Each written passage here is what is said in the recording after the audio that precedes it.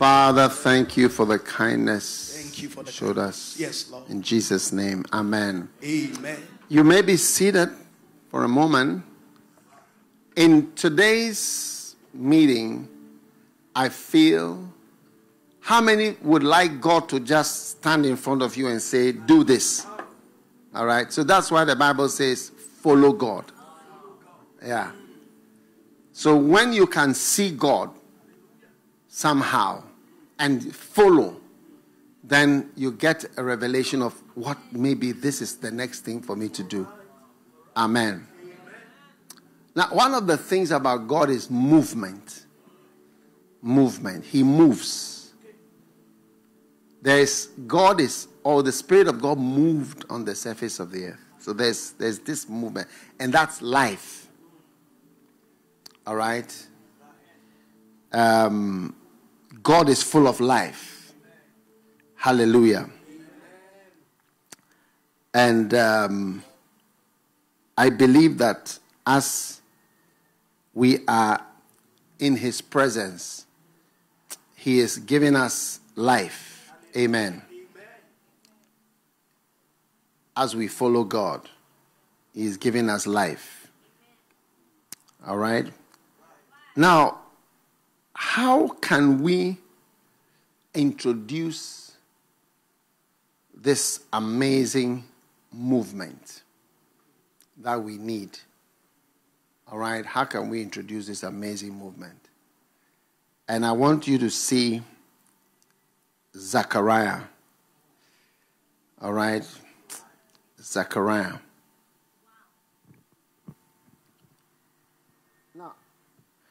Notice First John um, chapter 5.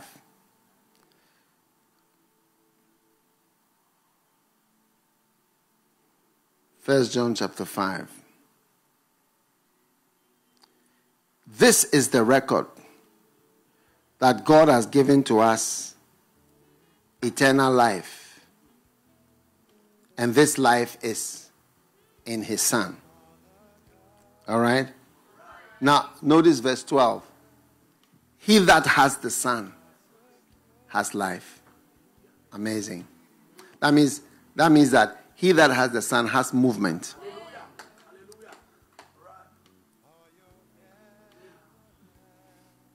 Like, how do you think they used to decide that people were dead in the olden days? How do you, how do you think they used to decide before there were doctors? Before the doctors who could do a scan or who could listen to the heart or who could listen to the, the, the, the heart and the chest and look at the eyes and decide that the person is dead. How, how do you think they used to? It's movement. It's not moving. It's not moved for two days. And oh, then now he's dead. Like maybe they put a, some paper on you and then see if you look at it.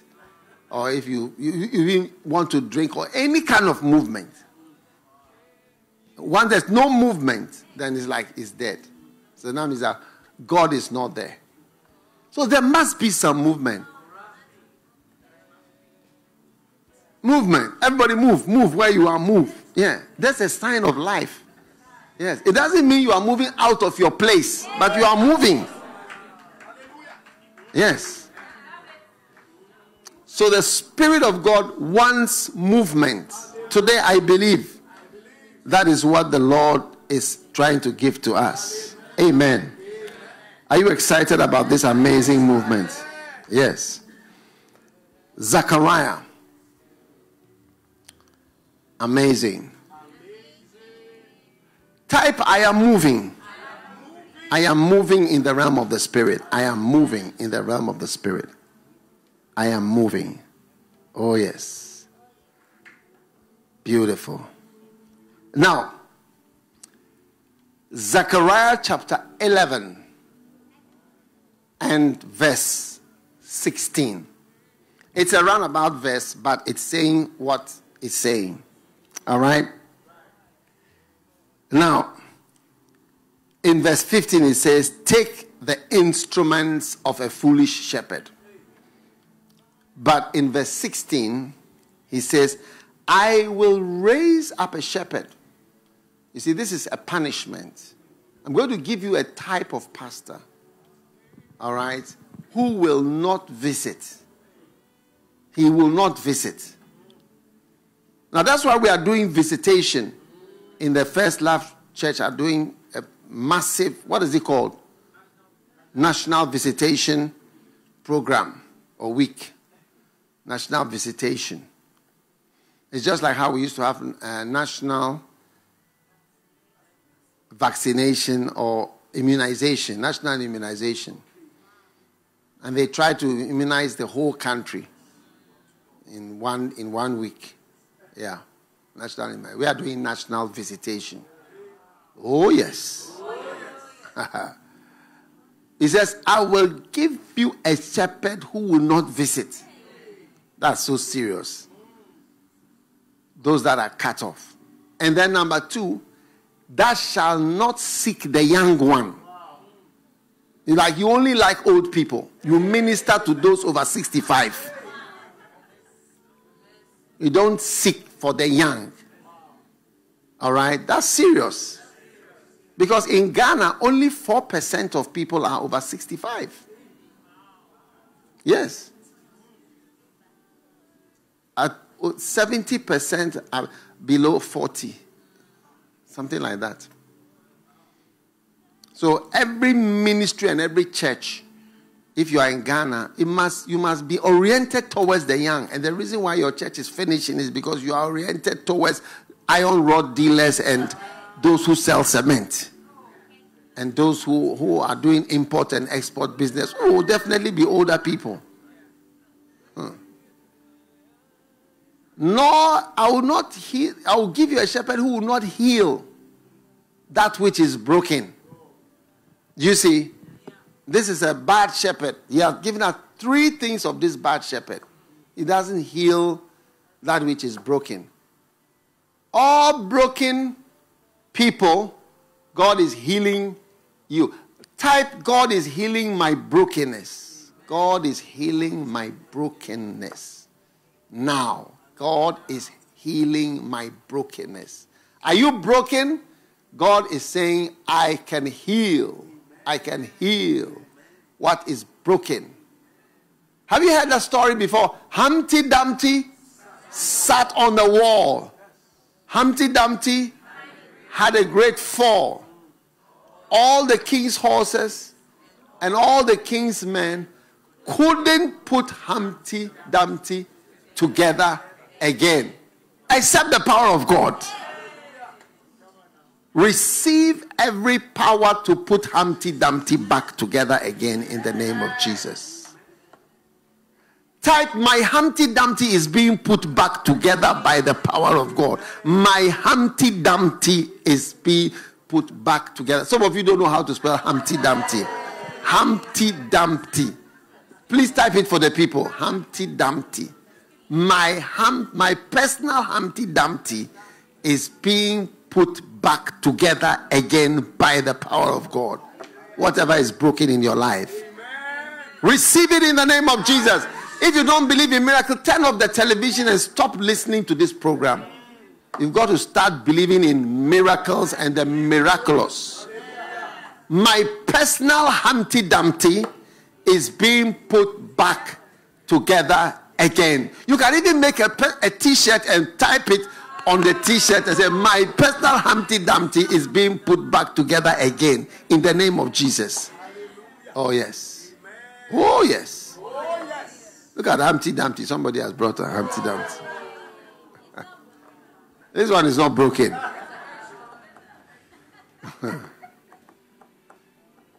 oh, yes. Humpty Dumpty. Now, the last part, I hope you are writing it. My personal, either my personal Humpty Dumpty or my Humpty Dumpty is being put back together again. And then the last part of the verse that I wanted us to see is that this shepherd, this bad shepherd, he will not feed that which standeth still. So standing still is a bad thing. And honestly, you, you, you may not believe it, but I've been a farmer before. And I had uh, cows.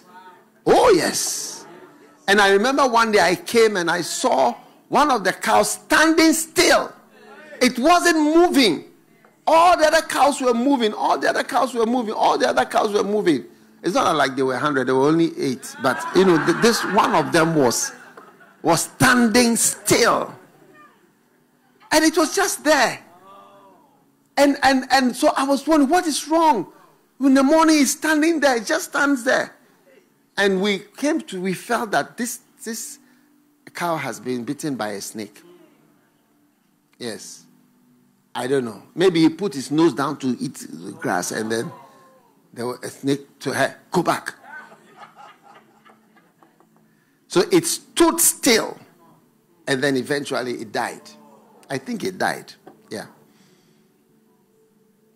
So whoever in this meeting is standing still, you are not moving. You are not moving out of your crisis. Your crisis has been going on for how long? Your situation has been as it is. It's not changing. And you are staying, you are spiritually low at the same way, the same problems, the same things. And you can see one of the main characteristics is that you are standing stuck still.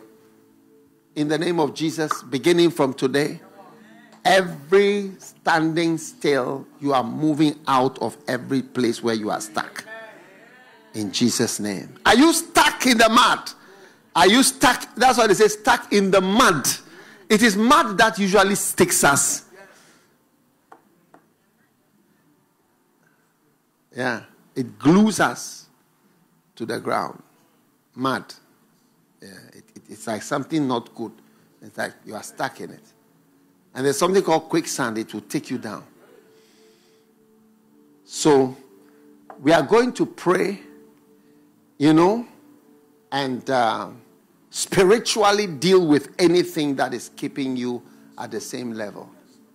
People around you must be able to say, It seems you have gone to a higher level. Beginning from today, people will start commenting say, I feel you have moved higher in, in, in, in, in something. You seem higher. You seem greater. You seem to have moved on. Oh, yes. You are moving on. You are moving on. I am no longer standing still. Type it. I am no longer standing still in the name of Jesus. I am no longer standing still. And I'm feeding you with something that will move you out of standing still at whatever state you are in. Yes.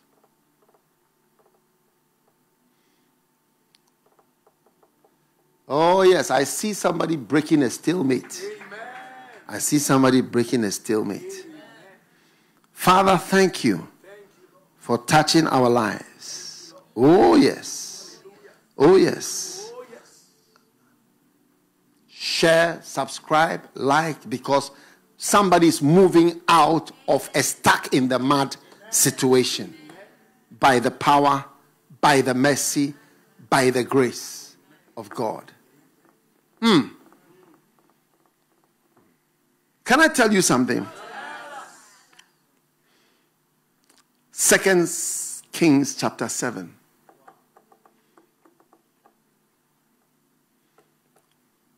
And Elisha said,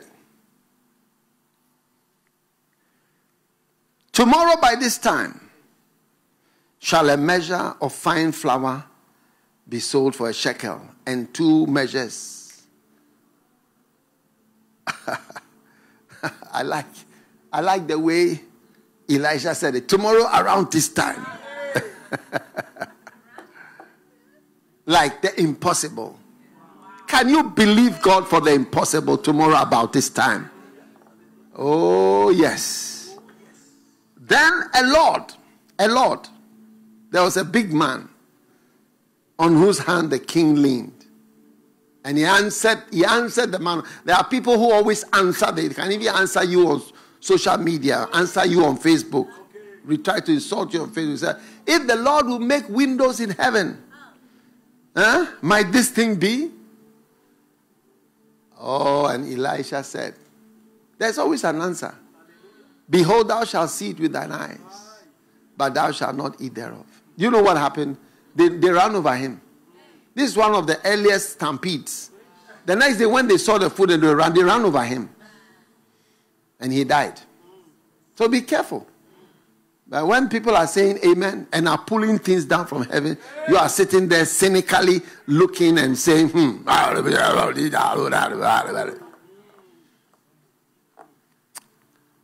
But I like something that I'm about to see. Are you ready for something that I'm about to see? There were four guys, there were four lepers, four leprous men at the entering of the gate. I don't know if you are a leper today. And they said one to another, Why sit we here until we die? Why should we be stuck? Why should we be stuck in this spot? All the way until death. Not good, not a good idea. Following God means moving out of whatever you are stuck. Maybe you are stuck in your church at 70. You are stuck in your church at 33 members, 32 members, 27 members, 19 members. Why are you stuck? And God is saying, You're saying, Are you going to stay with these 14 members till you die? So even these men with their handicaps rose up and said, You know something? What is the whole point of just lying here till we die? Come on, let's do something. Yeah, if we perish, we perish. You see? And they said, If they kill us, we shall but die. Look at the last line there. He said, We will enter into the city and the famine in the city. If we sit here, we die also. Now, therefore, let us fall onto the host of the Syrians. If they save us alive, we shall live. If they kill us, we shall but die. Let's just let's just let's just give it a try. What's the worst thing that can happen? What's the worst thing that can happen? What's the worst? They said, we, but die. We only die. After all, we are dying already. we are lepers. Let's give it a shot. Oh, right type, I am not sitting here till I die. I'm not sitting in this spot.